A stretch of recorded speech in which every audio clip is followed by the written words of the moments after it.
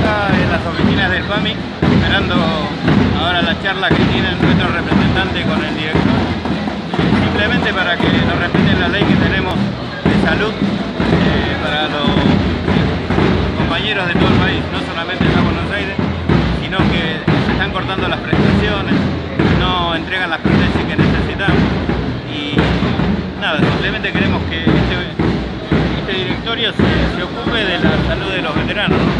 Fuimos a Malvinas en el 82 sin ningún problema de defender la patria y hoy lo único que le reclamamos a, esta gente del directorio de PAMI que, que nos respete la ley que tenemos para la salud de todos los veteranos del país. Todas las UGL en estos momentos se está tomando por cada delegación de cada provincia. Eh, las 24 UGL del país están tomadas por veteranos de guerra. Y acá solamente se encuentra la,